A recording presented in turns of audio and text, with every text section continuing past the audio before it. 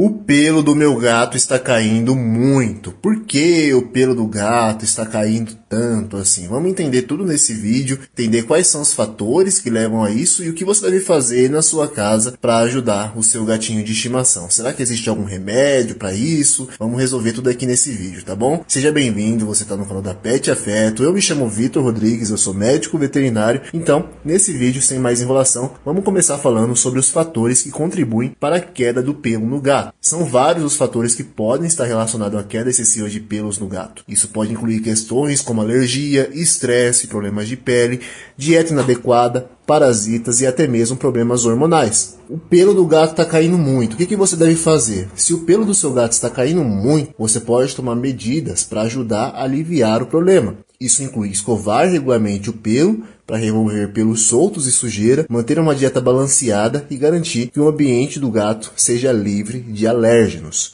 Vitamina e remédio para parar de cair pelo no gato. Inicialmente, você deverá rever a ração do seu gato. Avalie a necessidade de troca da ração por uma de melhor qualidade, com ômega 3 na formulação. Rações do tipo prêmio ou super prêmio tendem a ter ser ricas nesses suplementos. Para ajudar a reduzir a queda de pelo no seu gato, a suplementação com vitaminas específicas também pode ser útil. Então, primeiramente, alimentação e depois pensar em suplementar alguma vitamina, talvez à base de ômega 3 e ômega 6, que são suplementos excelentes que tendem a diminuir bastante a queda de pelo além de fortalecer a pelagem do gato. Porém, atenção, é importante comprar um suplemento à base de ômega 3, mas que seja formulado especialmente para gatos e seguir as indicações do fabricante para a espécie. Então, na hora de você comprar, né, existem alguns suplementos da Organact, né, e na hora de você comprar, você precisa ver se na formulação você pode dar para o seu gatinho, tá? Se é indicado para felinos. Em alguns casos, um remédio pode ser sim necessário para controlar a queda de pelos e processos alérgicos no gato, principalmente se tratando de problemas de pele, hormonais ou até quando a queda de pelo é causada por fungos e parasitas. No entanto, o melhor remédio para cada situação só poderá ser prescrito por um médico veterinário, portanto, nada de medicar o seu gato por conta própria nesses casos.